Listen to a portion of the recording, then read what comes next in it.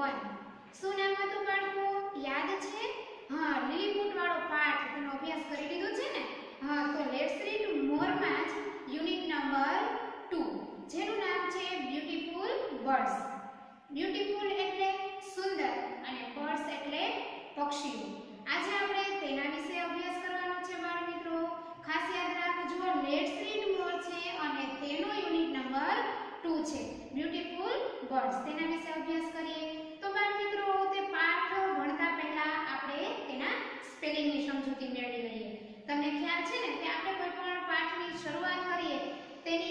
તેની સ્પેલિંગ છે.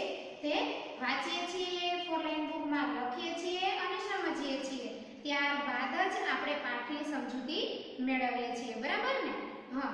તો જો બાળકો મેં બોર્ડ પર સ્પેલિંગ લખેલા છે અને તેની સમજૂતી મેળવવાની છે તમારે બધાએ, તો બરાબર ધ્યાન આપજો બોર્ડ ઉપર અને સ્પેલિંગ સમજજો. જોઈએ.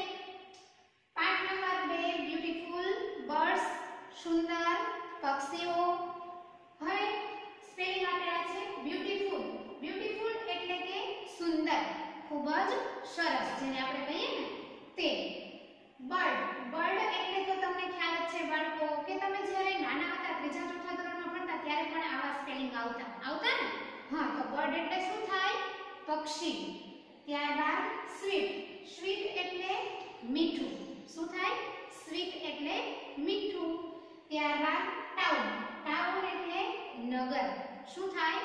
ટાઉન એટલે નગર ફોરેસ્ટ ફોરેસ્ટ એટલે જંગલ શું થાય ફોરેસ્ટ એટલે જંગલ માઉન્ટેન માઉન્ટેન એટલે પર્વત આ સ્પેલિંગ આપણે આગળ પણ આવી ગયો હતો બાળકો તમે જો વાંચ્યા હશે ને, તો તમને તરત જ બધા જે આગળ આવી ગયેલા સ્પેલિંગો છે ને, તેનું તમને અર્થ આવડતો જ હશે. થોડાક જ પાકા કરવા પડશે. જે સ્પેલિંગ આપણે આગળ આવી ગયા હોય તે તો યાદ જ હોય કેમ કે તમે તો હોશિયાર અને ડાયા વિદ્યાર્થીઓ છો. માઉન્ટેન એટલે પર્વત વિન્ડો વિન્ડો એટલે બારી. કેરફુલી કેરફુલી એટલે ધ્યાનપૂર્વક. શું થાય? કેરફુલી એટલે ધ્યાનપૂર્વક શેપ શેપ એટલે આકાર. ત્યારબાદ સાઇઝ સાઇઝ એટલે કદ શું થશે? સાઇઝ એટલે કદ ડિફરન્ટ ડિફરન્ટ એટલે વિવિધ. અલગ અલગ. આપણે કહીએ ને ડિફરન્ટ છે, એટલે કે અલગ અલગ છે. કંઈક જુદાપણું છે, તેને કહેવાય ડિફરન્ટ ત્યારબાદ કુકુ કુકુ એટલે કોયલ શું થશે કુકુ એટલે કોયલ બિહાઇન્ડ બિહાઇન્ડ એટલે પાછળ બિહાઇન્ડ એટલે શું થાય પાછળ ક્વાઇટ ક્વાઇટ એટલે શાંત શાંતિ સાવ અવાજ વગરનું ત્યારબાદ બ્રાન્ચ બ્રાન્ચ એટલે ડાળી બ્રાન્ચ એટલે ડાળી. નોઈઝ નોઇઝ એટલે અવાજ. ડિસ્ટર્બ ડિસ્ટર્બ એટલે ખલેલ કરવી. કોઈ પણ કામ કરતા હોય, તેમાં આપણે તેને ખલેલ પહોંચાડવી ડિસ્ટર્બ કરવું.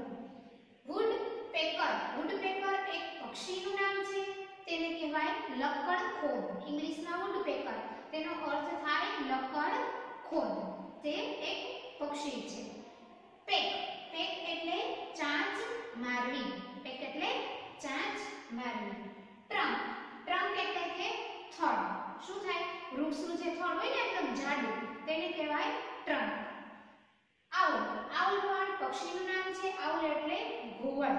શું થાય? ઘુવડ. ત્યારબાદ આગળ જોઈએ આપણે સ્પેલિંગ બાર મિત્રો. સમજાય છે ને? હા.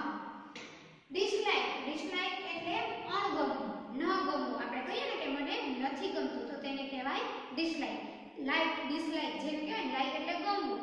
ડિસલાઇક એટલે ન ગમવું અણગમવું હોય તેના પ્રત્યે તે હાર્મલેસ હાર્મલેસ એટલે નિરુદ્રય કે જે નિર્દોષ છે તે ત્યારબાદ પેલિકન પેલિકન પણ એક પક્ષી છે જે બતક જેવું હોય છે બતક જેવું મોટું પક્ષી, જેને કહેવાય પેલિકન. ત્યારબાદ વીવ વીવ એટલે ગૂંથું ગૂંથીને જે પક્ષીઓ માળો બનાવે છે ને, તેને કહેવાય વીવ ત્યારબાદ વેવર બર્ડ વેવર બર્ડ એટલે કે સુગરી, જે સરસ મજાનો સુંદર માળો છે એ ગૂંથીને બનાવે છે. કોણ તો કે સુગરી? ત્યારબાદ સ્ટ્રો.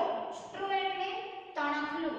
પક્ષીઓ છે એ આવા ઘાસના નાના નાના ટુકડા, તણખલાઓ, આવું બધું ભેગું કરી અને તેનો સુંદર માળો બનાવે છે તેના બચ્ચાને રહેવા માટે. તો સ્ટ્રો એટલે તણખલું, ફેધર્સ ફેધર્સ એટલે પીછા. શું થાય બાળકો? ફેધર્સ એટલે પીછા. ડિસ્ટન્સ ડિસ્ટન્સ એટલે અંતર.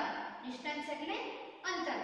ત્યારબાદ ફ્લેમિંગો. ફ્લેમિંગો એટલે સુરખાવ તે પણ એક પક્ષીનું નામ છે ફ્લેમિંગો એટલે સુરખાબ તો બાળકો આ હતા આપણા બ્યુટીફુલ બર્ડ્સ પાઠના સ્પેલિંગ તે અહીંયા પૂર્ણ થાય છે. હું આશા રાખું છું કે તે તમને સમજાઈ ગયા હશે. તો બાળ મિત્રો, હું તમને આ સ્પેલિંગની પીડીએફ મોકલીશ. તેમાંથી જોઈ અને તમારે બધા વિદ્યાર્થીઓએ ફોર લાઈન બુકમાં સારા અક્ષરે વ્યવસ્થિત રીતે લખી લેવાના છે અને લખ્યા પછી તેને વાંચી અને યાદ પણ રાખવાના છે. જેથી કરીને આપણને પાઠમાં આ સ્પેલિંગ જ્યારે આવે, તે સમજવા એકદમ સરળ બની જાય. અને ત્યારબાદ આપણે આ સ્પેલિંગ તમે ફોર લાઈનમાં લખી લેજો. ફરી મળીશું ત્યારે આપણે આ જ પાઠ છે તેની સમજૂતી મેળવીશું. તો ફરી મળીએ ત્યાં સુધી બધા વિદ્યાર્થીઓને મારા જય મામાદેવ બાળ મિત્રો.